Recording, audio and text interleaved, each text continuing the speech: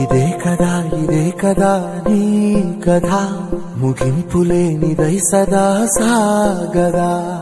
ఇదే కదా ఇదే కదా నీ కథ.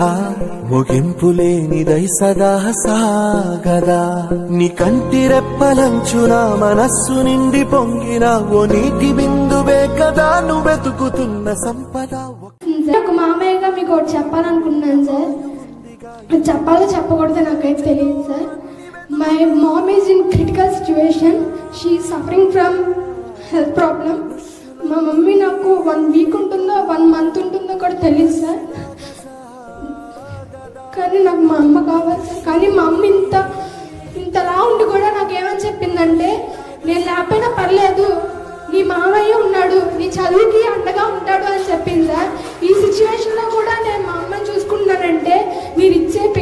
పెన్షన్తోనే సార్. మళ్ళా వస్తారు సరే. సార్? అంటే డీటెయిల్స్. ఒకసారి కొన్ని డీటెయిల్స్ చెప్తాను ఒకసారి. అంటున్నారు ఇట్లా ఈ సిచ్యువేషన్ చూసి కూడా వాళ్ళు ఇంజెక్షన్ కానీ ఏదైనా ట్రీట్మెంట్ లాంటిది ఏం చేయలేదు మ్యామ్ కానీ ఈరోజు సారు చెప్పగానే ఇంత రెస్పాండ్ అయినందుకు నాకు చాలా హ్యాపీగా ఉంది. మీ ఫాదర్ ఎలా చనిపోయారు? అంటే నీకు ఏ వయసులో ఉన్నప్పుడు? I'm in five years my father is died కానీ నా నాకు అప్పుడు తెలీదు ఎందుకు చనిపోయారు అనేది కూడా తెలియదు. రమ్య రమ్య మదర్ ఉన్నారు. రమ్య మదర్ ఉన్నారు. ఆవిడ మాట్లాడి తెలుసుకుందాం. అమ్మ చెప్పండి మీ ప్రాబ్లం ఏమిటి?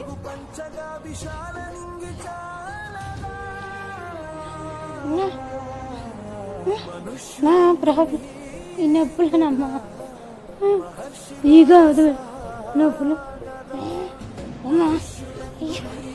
బాడీ పని చేయట్లే బాడీ పని చేయట్లే అసలు అమ్మా అయ్యా. ఏంటి మీ మదర్ ప్రాబ్లం ఏమిటి? మా మదర్కి సంథింగ్ లంగ్స్ కింద అలాగే గొంతు దగ్గర గడ్డలా వచ్చినాయి మేడం. అలాగే లంగ్స్లో నీరు వచ్చి లంగ్స్ కొంచెం పాడైనవి అని చెప్పారు. సిమ్టమ్స్ ఆఫ్ క్యాన్సర్ అని కూడా అన్నారు. కానీ మేము బ్రీఫ్గా ఏమీ చూపించలేదు అవర్ ఇన్కమ్ బట్టి. అంటే నాలుగు నెలల నుంచి ఇలా మంచం మీదే ఉంటున్నారు కదా. ఆర్థికంగా మీకు హెల్ప్ చేయడానికి ఎవరైనా ముందుకు వచ్చారా ఎవరు రాలేదు మ్యామ్. సార్ ఇచ్చే పెన్షన్ అలాగే అమ్మఒడి అలా మా మ్యా- మా మమ్మీ బ్యాంక్లో వేసింది. అవి యూజ్ అయినాయి. అలాగే ప్రతి మంత్ పెన్షన్ అవి ఇస్తారు అట్లాగే లాక్డౌన్ టైంలో ఎక్కడికి వెళ్ళమని మంత్లీ థౌజండ్ రూపీస్ అలా ఇస్తారు. రేషన్ బియ్యం ఇంకా మాకు అవే సరిపోతుంది మ్యామ్. వెతుకుతున్న సంపద ఒక్కొక్క జ్ఞాపకానికి వందేళ్ళ ఆయువుందిగా. ఇంకెన్ని ముందు వేచనో అవన్నీ వెతుకుతూ పదా. మనుష్యులందు నీ కథ మహర్షిలాగా సాగదా. మనుష్యులందు నీ కథ మహర్షిలాగా సా